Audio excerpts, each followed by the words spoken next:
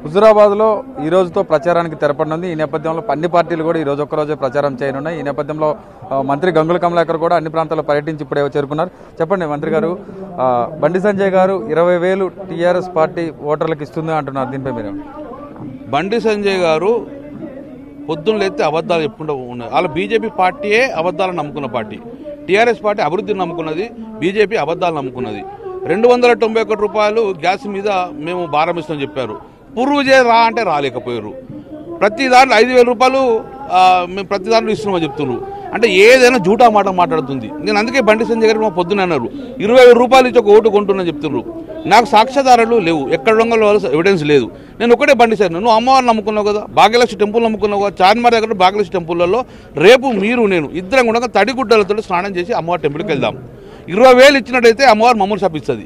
ఇరవై వేలు లేకపోతే అమ్మవారు నిన్ను శపిస్తుంది. దానికి మీరు సిద్ధంగా ఉండి రమ్మండి. ఇక ఊకే ఈ కాయదలద్దు ఛాలెంజ్ చేస్తున్నా దయచేసి రేపు పొద్దున పది గంటలకు ఊ అంటే నేను వస్తాను. తడిగుడ్డలతోటి భాగ్యలక్ష్మి టెంపుల్ వెళ్దాము.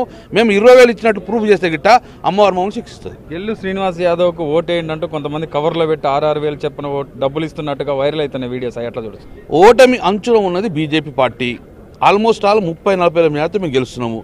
ఏదో కుయుత్తులు కుట్రలు చేసే ప్రయత్నం చేస్తుండ్రు. మా కండువాలు వేసుకుని పోతాండ్రు. మా కండువాలు వేసుకుని పోయి అవి అమ్మా మేము టీఆర్ఎస్ పార్టీ అని చెప్పి పైసలు ఇచ్చేసి అందులో ఆరు వేలను పెట్టి రెండు వేలు పెట్టి మోసం చేస్తుందని చెప్పి వీళ్ళే కుట్ర బంతురు ఎందుకోసం మేము డబ్బులు ఇస్తామండి? ఏం తప్పు చేసిన డబ్బులు ఇస్తాం మేము? అభివృద్ధి చేయలేదా? బ్రహ్మాండ అభివృద్ధి ఇరవై సంవత్సరాలు అభివృద్ధి చేస్తున్నాం. మేము హక్కుదారులం.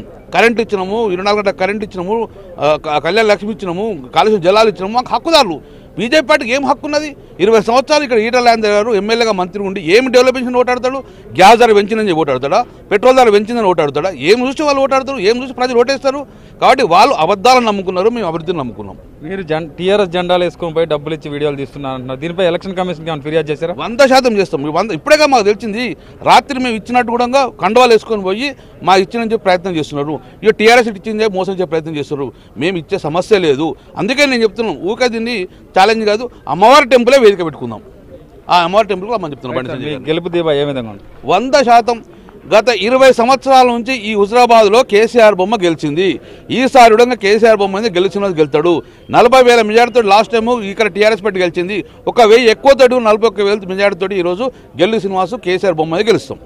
ఇది మొత్తం మీద హుజరాబాద్లో డబ్బుల పంపిణీకి తనకి ఏం సం- తమకి ఏం సంబంధం లేదని టీఆర్ఎస్ నేతల్లాగా కొంతమంది బీజేపీ నాయకులే వెళ్ళి డబ్బులు పంపిణీ చేసి వీడియోలు పెట్టి సోషల్ మీడియాలో అలచల్ చేస్తున్నారంటూ దీనిపై తాను సవాళ్ళకు కూడా సిద్ధంగా ఉన్నానని భాగ్యలక్ష్మి టెంపుల్కి వెళ్ళి తెలుసుకుందాం రమ్మని చెప్పి బండి సంజయ్ కూడా సవాల్ విసురుతున్నారు మంత్రి గంగుల కమలాకర్. ఇది ఇక్కడ పరిస్థితి. సంపత్ కిరణ్ హుజరాబాద్